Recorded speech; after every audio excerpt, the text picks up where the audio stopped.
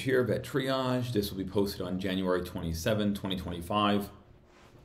We are finishing up here soon with this issue of JAVMA from March 15, 2017.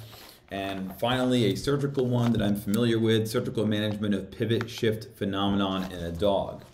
For those who don't know what pivot shift is, it's what it sounds like. Um, one of their legs pivots, and it's, it's seen as a complication of TPLO, tibial plateau leveling osteotomy, which you can look at my channel for cranial cruciate ligament videos. I think I have two or three parts to it and talks about TPLO, which you can see in the drawing there, where we make a cut into the bone and rotate the uh, tibial plateau. There are other, there are like 30 surgeries for cranial cruciate ligament rupture in dogs, and so this is one of them, one of the more popular ones. Um, but pivot shift, you get this twisting motion of the leg, and it's actually an external rotation. And uh, it's an annoying thing because for some dogs it's just cosmetics, for others it actually affects their gait, and some dogs never get that issue. Most don't. So I didn't realize they called it pivot shift phenomenon, but that's what they call it. This is a case study, and it comes out of the Davies Veterinary Specialist in England. Clinical findings is a 6.8 year 6.8 year old male neutered Labrador Retriever Poodle mixed. The dog had a left TPLO done, and they noticed a jerking lateral movement to the left stifle joint, which is the pivot shift phenomenon. No signs of discomfort. Radiograph showed healing of the TPLO with only mild joint effusion. The treatment was an arthrotomy. They found no meniscal tears. They removed the previous TPLO plate because osteotomy healed. They placed an extracapsular synthetic ligament like biomaterial to counteract the internal rotation, and it eliminated the pivot shift phenomenon. Then the dog had a right sided cranial cruciate ligament rupture. They did a TPLO. They noticed that in the surgery, he was developing the same pivot shift on the other leg. So they reinforced that TPLO with the extracapsular implant, and the dog did great.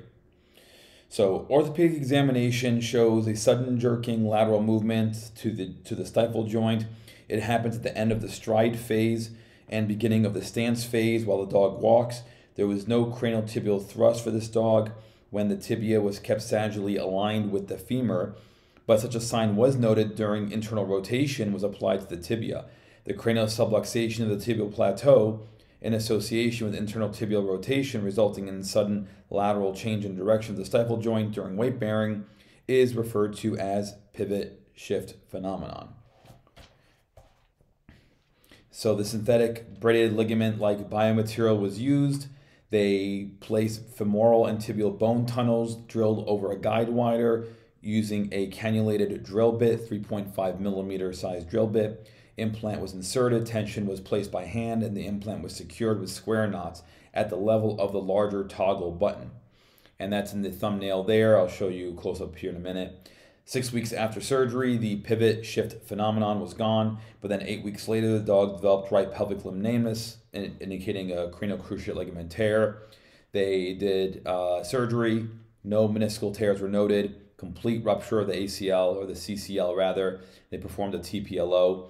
During surgery, no cranial tibial thrust sign was detected when the femur and tibia were kept sagittally aligned, but a sign was noted when internal tibial rotation was applied.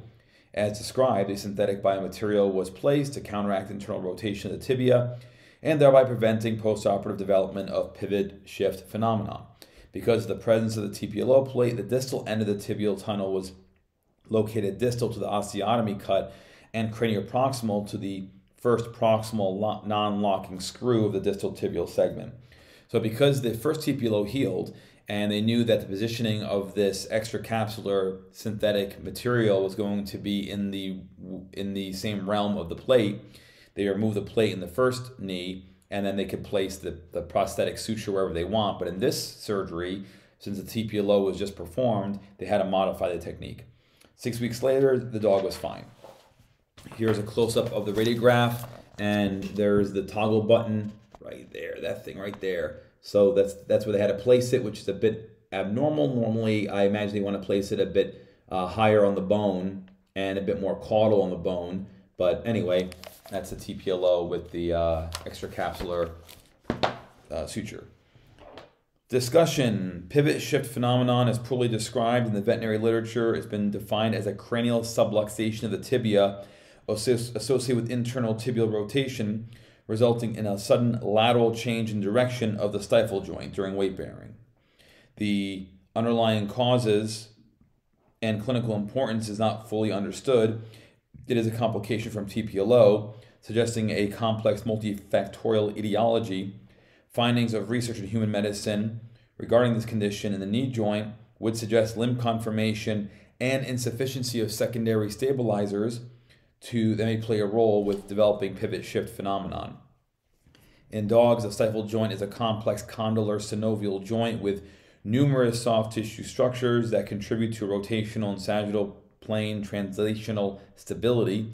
During the stance phase of walking, when the stifle joint is in extension, the cranial and caudal cruciate ligaments act as primary restraints against internal rotation and translation in the sagittal plane, and in the medial and lateral collateral ligaments limit internal rotation as well. The medial and lateral menisci act as secondary stabilizers by increasing joint congruity. In humans, excessive motion of the knee joint is also prevented by a reflex arc involving contraction of the caudal thigh muscles and relaxation of the quadriceps femoris muscle so it is possible that these muscle groups also play a role in stifle stabilization.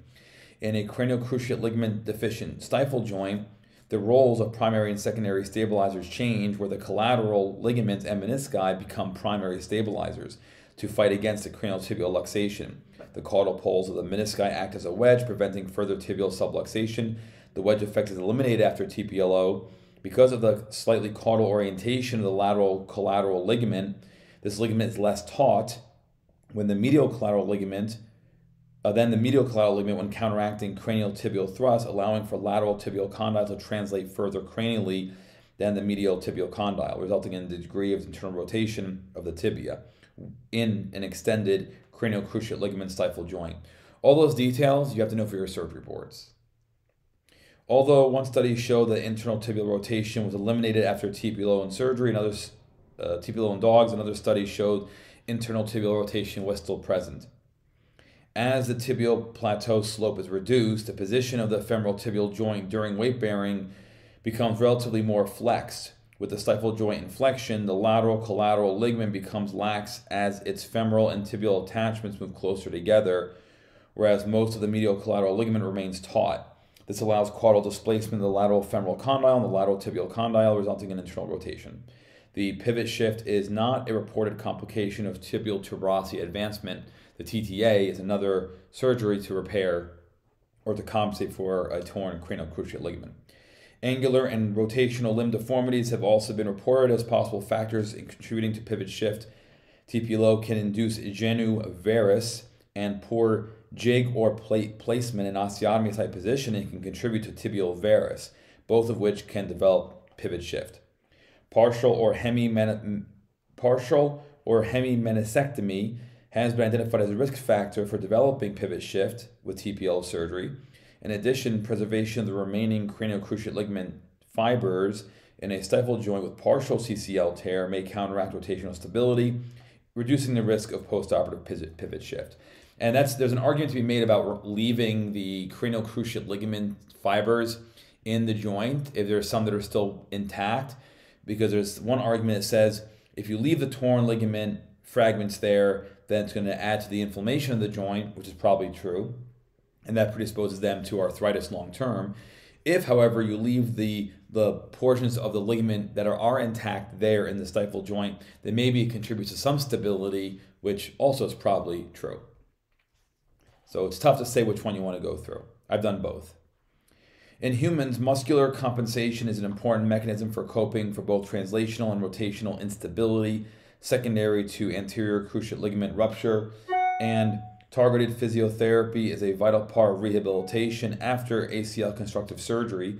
In a study involving dogs, pivot shift resolved with recovered satisfactory thigh muscle, although the overall rate of thigh muscle atrophy was not assessed, barring direct conclusions that can be made. Conservative management has been reported for treatment of pivot shift, which is typically what I've done. Extracapsular suture technique can eliminate both craniocaudal and internal rotational instability, although such techniques can also cause external rotation of the tibia. The extracapsular technique used for this dog was quick and easy to perform. The implant material was a multi-filament, ultra-high strength tape. It increases resistance to cyclic loading and has less risk of early loss of tension compared with other suture types. Complications observed with the reported technique include implant loosening and infection, with a reported major complication rate similar to that of TPLO. So, a pretty straightforward case study. Um, I'm, I'm, I'm fine with it. It is what it is. With, with these types of studies, you can't really draw too much conclusion, but it is good to see that there are surgical options. And yeah, I mean, nothing wrong with, with placing a lateral suture technique for these dogs, especially if you're seeing the pivot shift from another from the other opposite leg, or in surgery, you're getting a weird kind of clunking motion as you're manipulating the uh, knee joint once you place the TPLO. All right, thanks to those who uh, support the channel. We'll see you in the next video. Take care.